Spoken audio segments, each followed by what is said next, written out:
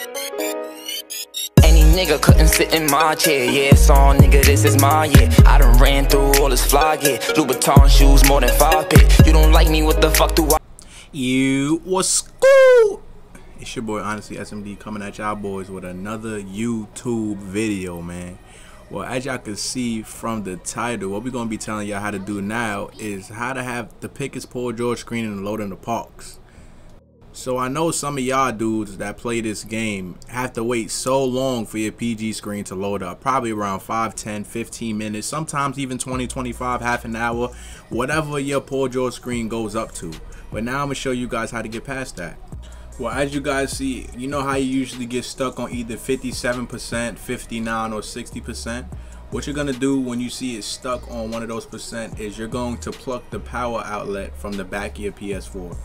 Okay, so you see the wire that I have circled is that's the wire that you want to plug out at 57%. So moving on.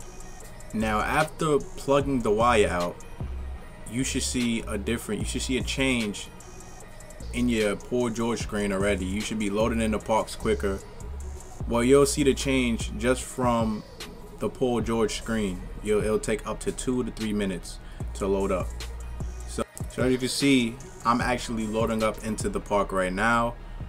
I remember I went to the bathroom as I loaded up into the park, but I decided that I wanted to make this video, but this video is 100% 100% works trusted by me and uh, the help of my boy JC he actually told me about this but this is to help everybody out who has trouble with their Paul George screen so just make sure y'all like uh, comment and just let me know how this works out for you. If you want to fast Paul George screen and if you want to load up in the parks quick this is the fastest method instead of waiting two to three hours to download. But this is your boy honestly and i'm out here y'all.